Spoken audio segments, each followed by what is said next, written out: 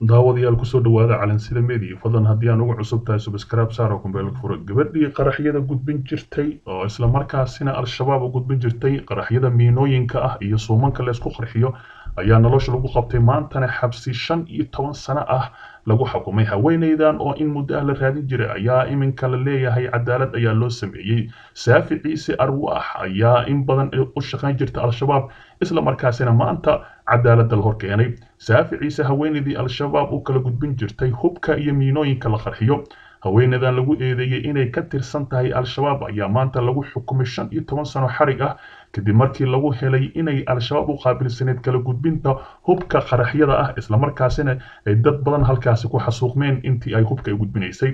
haweeneydan oo lagu magacaabo saafi ciise arwaax ayaa saraakiisha dembi baarista u sheegtay sidii ay ugu biirtay al-shabaab iyo waxa uu ku kalifay waxayna inay ku qalqaalisay haweeney deris la ahayd oo ninkeeda uu ku dhintay qarax uu farsameynayay ayay tiri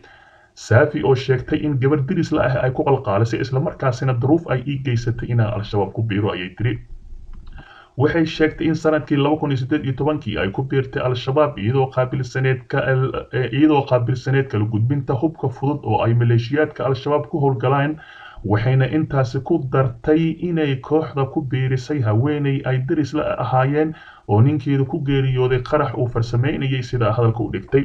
saafi ciise arwaax waxay sheegtay inay soo martay duruufo kala duwan sidaa inay soo martay laba guur oo fashilmay ama ka burburay kadibna ay al-shabaab ku biirtay iyadoo ka tegi jirtay xaafado fara badan oo ku yaalla cirifka sare ee magaalada muqdisho iyadoo kala gudbin jirtay bistooladaha bambaanooyinka gacnaha laga tuuro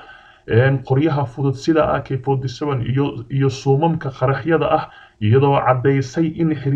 iyadoo cadaysay in xiriiriyaha shabakada lagu hagan jiray banaanka magaalada gaar ahaan deegaanka lagu magacaabo lagu magacaabo muarag ayay tiri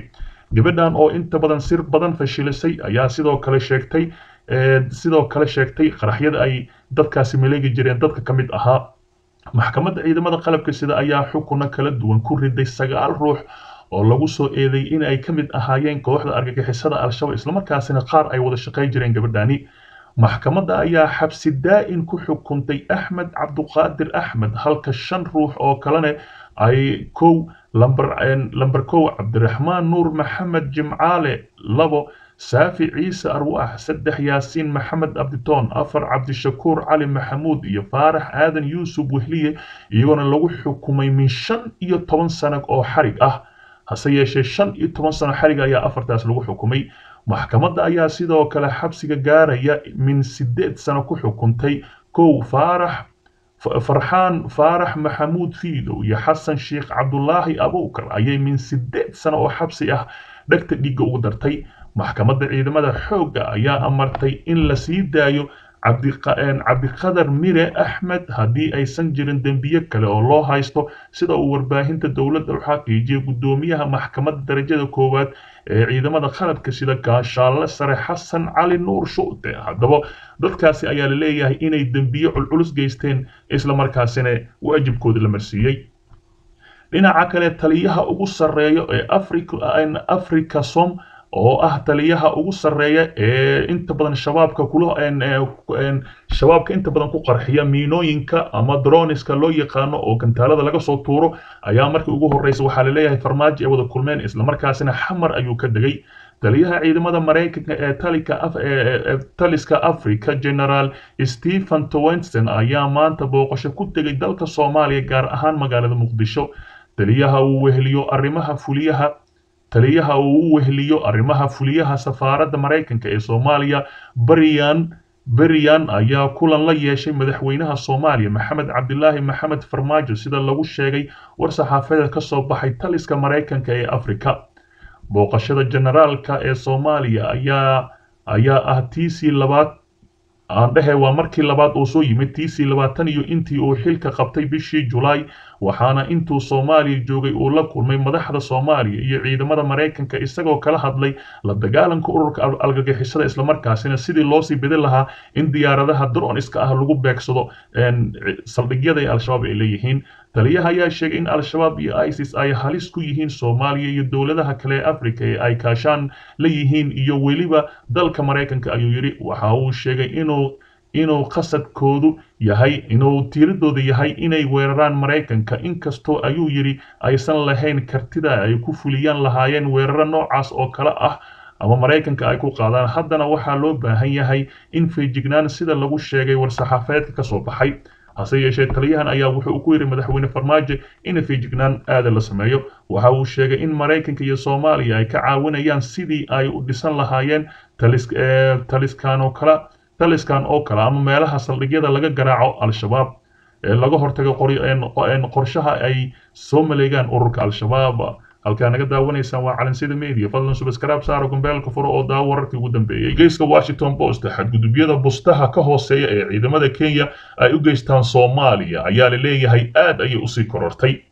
Soomaalida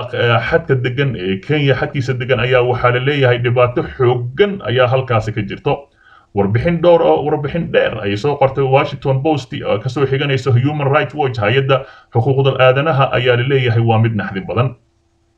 warbixin dheer oo ka soo baxday hay'adda u dooda xuquuqda aadanaha ee human rights watch ayaa lagu sheegay in ciidamada kenya gaar ahaan kuwa militariga ay xadgudubyo xaddhaaf ah u geystaan dadka soomaaliyeed ee degan magaalooyinka ku yaalla xuduudda u dhexaysa soomaaliya iyo kenya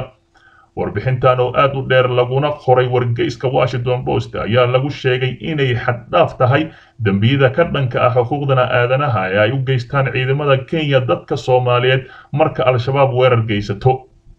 Hay'adda human rights watch ayaa warbaaxinteeda ku sheegtay inay diiwaan gelisay in ka badan siddeetan iyo siddeed kiis oo ciidamada kenya ay u geysteen dadka soomaaliyeed ee meeshaasi degan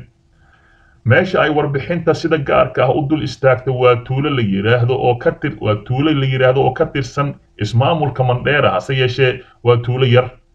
Tuuladan dadka ku nool waxaa ku joog waxay ku joogaan u yihiin cabsi ay qabaan ka qabaan ciidamada militariga kenya ee la yiraahdo k d f oo loo yaqaano kuwaasoo dilal xiran kuwaas oo dila xira jirdilna u geysta dadka magaalada marka weeraro ay jidgal ah ay marayaan loo geysto magaaladan ceelashii biyaha waa laga xawaalay waxaana ay doontaan waxayna doontaan meelo fogfog waxaana dhibaatadaasi u geystay ciidamada kenya oo biyaha waxay ka doontaan meelo fogfog ayaa warbixinta lagu leeyahay. Mar kasta oo ay maqlaan in ciidamada gaadiidkooda ku soo dhow yahay waxaa laga baxaa magaalada habeenkiina. Si dareen leh ayaa lagu joogaa sida ay sheegeen dad deegaanka ah. In ka badan inta ay ka qabaan al-shabaab ayay naftooda kala baqaan ciidamada kenya dadka soomaaliyeed ee xuduudda degan ayaa lagu yidhi warbixintan lagu daabacay wargeyska the washington post ee ka soo baxa dalka maraykanka warbixintan waxaa lagu sheegay in siddeed sano ay ciidamada kenya ku sugan yihiin soomaaliya inay aad u bartilmaamnaysanayaan dadka soomaaliyeed oo aan waxba galabsan markii ciidamadu la kulmaan weeraro al-shabaab kaga yimaado. Ciise axmed waxa uu ka yimid waxa uu ka mid yahay dadka degan tuulada ceel ku tuulo oo la yidhaahdo waxaana uu sheegay in guddiga in gundiga warbixintan diyaarisay in cabsi darteed ay qoteen godad ay ku dhuuntaan islamarkaasina marka ay ciidamada soo maraan halkaasi ay godad ku dhuumanayaan. Waxa uu yidhi ciise waan cararnaa oo dhuumannaa mar kasta oo aan helno war sheegaya in ciidamadu soo socdaan ayuu yidhi ciise. Dadka halkaa degan dadka halkaa degan waa muwaadiniin kenyaan ah haddana cabsi ka badan tan ay ka qabaan al-shabaab ayaa ciidamada militariga ka qabnaa ayuu yidhi sidoo kale. Guddiga ka socda hay'adaha human rights watch waxa ay sheegeen inay la kulmeen shakhsiyaad inta ciidanka kenya xireen loo sii daayey hase ahaatee cabsi diidan cabsi diidan darteed ay u diideen inay warbixin fiican siiyaan ama magacooda ay faafiyaan ayagoo cabsi ka qabo ciidamada halkaasi jooga. Ciidamada kenya waxay doonaan ayay sameeyaan mana jirto cid la hadasho ama naga celiso waxaa sidaas yidhi nin kale oo dadka deegaanka ah oo la yidhaahdo maxamed cilmi. Maxamed waxa uu adeer u yahay cabduqaadir cilmi oo soddon afar sano jir ahaa oo ay ciidamada kenya dileen markii miino loo dhigay kolonyo meel kolonyo maraysay meel u dhow meesha uu joogay. Islamarkaasina waddadii markii kolonyada miinada ku qaraxday ayay dileen wiilkaasi.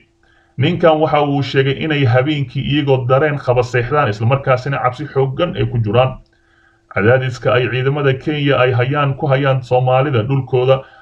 ay kenya maamusho waxay keentay in dhalinyaro badan ay hub ka qaataan ama ay ku biiraan ururada argixisada al-shabaab. Xooga wargeyska aanu xigananayno ee washington post ee helay waxay muujinaysaa in boqolaal dhalinyaro ah oo deganaa ku tulo ku noolaay ay caro darteed al-shabaab ugu biireen islamarkaasina ciilka ay u qabaan militariga kenya ay al-shabaab u qorteen sababta wargeysku waxa uu ku sheegay inay tahay kadib markii ciidanka kenya ay deegaanadaasi ka xidheen macalin dugsi qur'aan macalin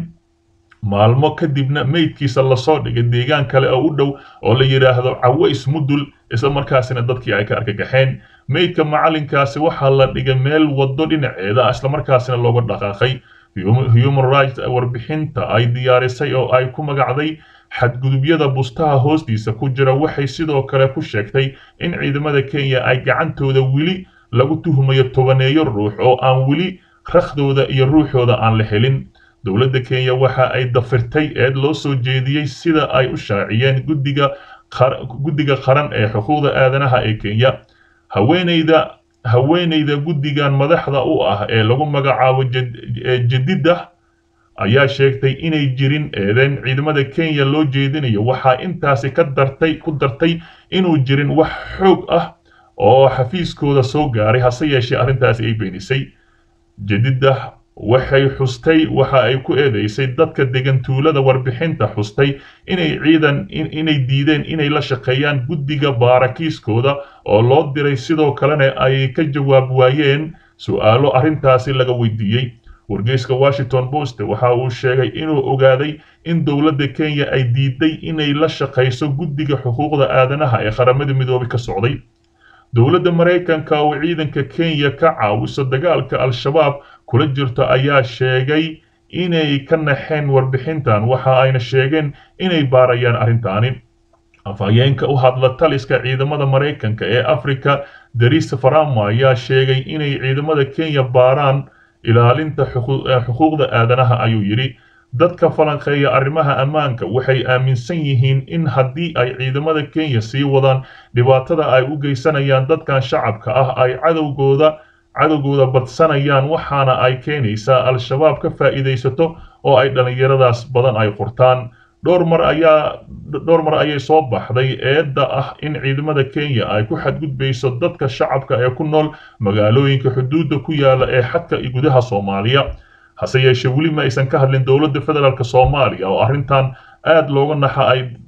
kenyaanka ku hayaan dadka soomaaliyeed ee degan xuduudda. Halkaa naga daawanaysaan waa calansida media. Fadlan subscribe saaro gobeelka furo oo daawo wararkii ugu dambeeyay oo xiise leh